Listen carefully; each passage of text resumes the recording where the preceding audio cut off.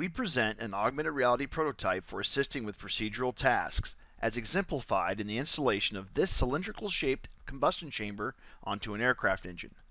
Procedural tasks involve people performing established sequences of activities while interacting with objects in the physical environment to accomplish specific goals.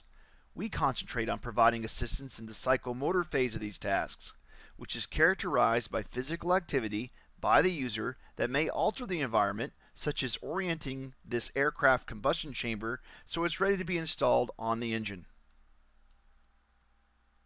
We designed an experiment that compared the performance of participants using both our prototype and a baseline condition reflecting an enhanced form of the kind of computer-based documentation currently used in practice.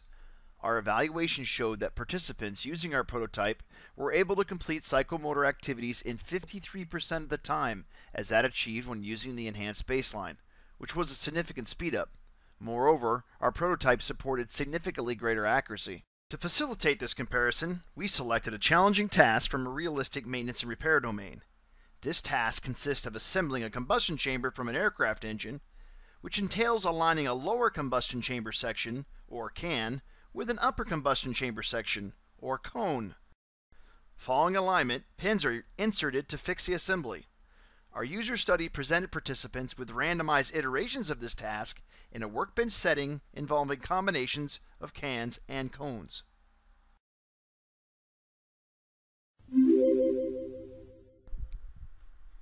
Each trial in the study consists of locating a can in one of six bins on the workbench. The user is then instructed to move the can to a turntable that serves as the assembly work area. This process is then repeated for locating a cone and placing it on top of the can.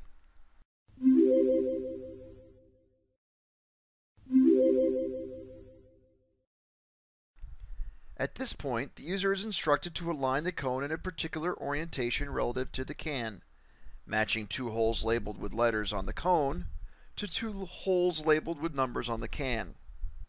The user must then insert two pins, one in each of the pairs of matched holes. Following alignment and pinning, the user is instructed to place the completed assembly in one of the bins on the workbench. Our AR prototype offers several forms of assistance for this task.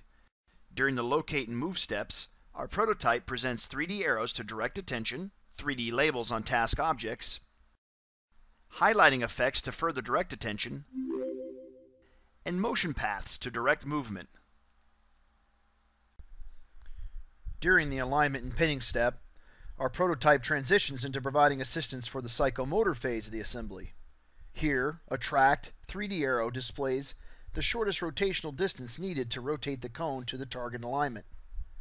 Dynamically tracked and positioned billboarded labels clearly indicate the attachment and pinning points during rotation.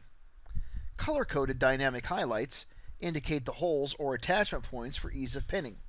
As the cone and can are brought into alignment, these highlights merge to form a single tracked highlight over each labeled hole.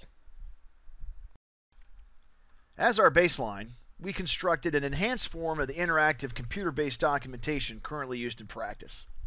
The baseline creates static 3D images that combine the overlaid material used in our see-through AR system with 3D models of the workbench, cone, can, and pins presented on a large opaque LCD comfortably positioned near the work area.